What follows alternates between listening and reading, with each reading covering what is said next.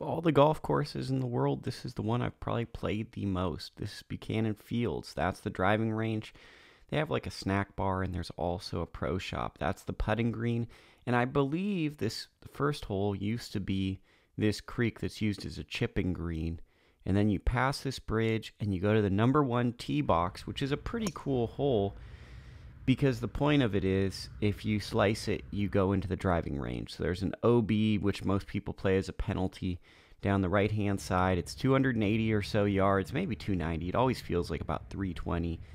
Had about a wedge in, hit a tree, stayed on the left hand side, hit the lob wedge. Probably caught it a little fat with the way the divot was, and then left myself this pitch my short game hasn't really been that fantastic lately, but check out my medium shirt that barely fits me. Pretty awesome look. Finished out with a putter, and I think that's cool that I played here so much in my life.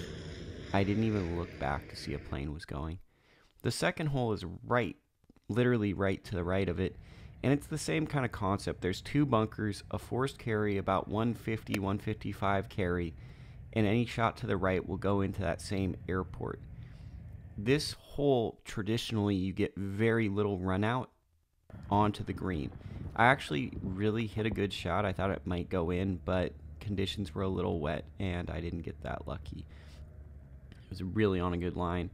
And I've been having putting woes, but I can't be mad at that. That was a good stroke. The third hole, I actually once got a hole in one here. You can't miss left. You can hit into a tee box. There's a moat also over on the left hand side and I typically just aim at this bunker, and if I pull it, then that's okay. But I want to take left out of play. I hit a straight shot all the way to the back of the green with an 8 iron and hit a pretty good pitch. But I mean, they're pretty soft here. The big thing that you got to know is if you land on the fringe, the ball can get sucked up by the crappy grass and it'll just kind of stick and stop. This is one of my favorite holes in golf. It's the fourth hole, it's a par 4 there used to be a lake to the left, so you used to have to use more strategy because you could lose your ball night and just play from there. And if you miss right, you actually just go into the eighth fairway. I left myself once again maybe 40, 50 yards, just a simple lob wedge, and gave myself a really, really good look at a birdie. Just didn't have the pace of the greens, but I'm not mad at that. I gave it an honest effort. The fifth hole, I'd say, is if you're a beginner golfer, this is probably going to be your favorite hole because there's the fewest amount of obstacles. It's a really good yardage. And this is a Buchanan special. Someone hit into me right as I hit the shot. Gotta love that. That's the bunker to the left that you want to stay away from. A nice safe shot is just to the right of the green. If you want to take it on, then you can give yourself a short sided shot. Once again, not a very confident stroke watching in hindsight, but another par. Let's go. The sixth hole is probably the most straightforward hole, although this day it's playing into the sun. The exception to it is it has a very slopy green. So if you're all the way on the right hand side with an upper left pin, it's going to be hard. And conversely, all the way on the left hand side with a lower right, you could have like a St. Andrews like putt. On this day, I just try to keep the ball to the left and it's always kind of tricky getting back here and I salvaged a par which was pretty friggin' cool because that back left pin location if you don't distance gauge well can be very tricky. The seventh is a hole where I personally try to miss out right which isn't the best because there's a tee box where I almost got it hit into. But if you miss left you can either hit the eighth tee box or be in trouble. So I always try to miss a little left and bring the ball right to left back in there. And I went over the green with a 7 iron and I almost chipped that in. So you can see where it is.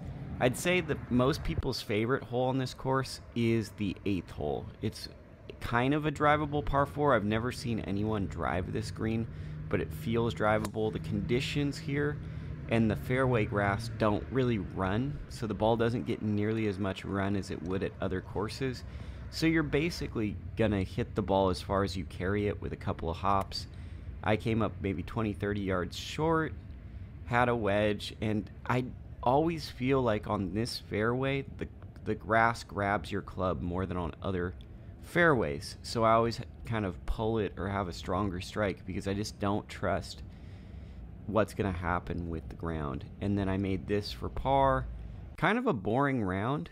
Like, but once again, this is a course I like a lot. That's the backside of the ninth hole. Ninth hole, the longest hole on the course. It's still like 320, 330, not very long.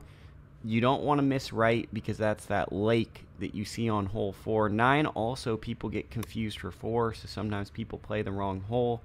Had about 85 yards in, a little wind into my face, tried to get the sand wedge there and caught it a little heavy and gave myself a longer putt than I probably needed to. And then hit this putt and finished out a good round. Buchanan's a really, really fun course, and it's where I've spent a lot of my golfing life at. There's this bunker behind the ninth green I've never seen anyone hit into, and this chipping facility is a chipping area that I've spent a lot of time at. So if you ever want to just work on chipping, you can go there. Thank you for watching this vlog. I appreciate anyone who contributes or subscribes or even likes a video. This is a passion project, and I'm just trying to do the best I can.